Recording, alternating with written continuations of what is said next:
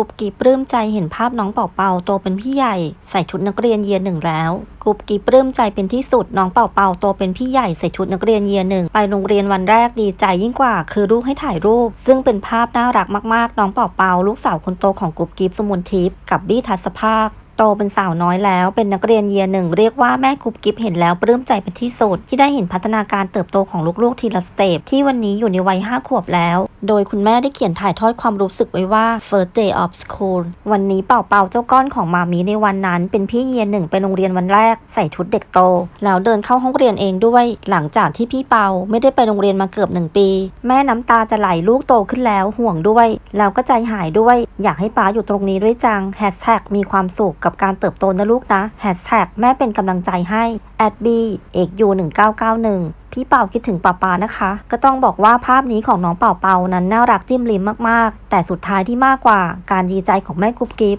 ที่ได้เห็นลูกใส่ชุดนักเรียนเด็กเยียหนึ่งคือการที่น้องเป่าเป่ายอมไม่ถ่ายรูป ดีใจกว่าสิ่งอื่นใด ลูกยอมไม่ถ่ายรูปและลงรูป สรุปในตอนท้าย แม่เฮฮาไปอีกค่ะ ขอขอบคุณภาพกุ๊บกิ๊บ36 น้องเป่าเป่าภาพเป็นแหล่งข้อมูลข่าว สนุก .com ค่ะ ฝากกดไลค์ กดแชร์ กด Subscribe กดกระดิ่งกันด้วยนะคะ